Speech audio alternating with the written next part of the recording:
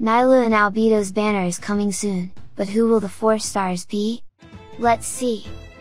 There's less than 5 days left until Nilou and Albedo's banner releases and the question most people ask is who the 4 stars will be.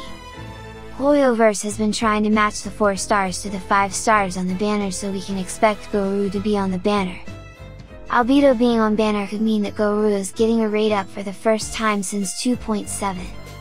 While Beidou is a 4 star with the most time passed since her rerun, closely followed by Kujou Sara and Xiangling.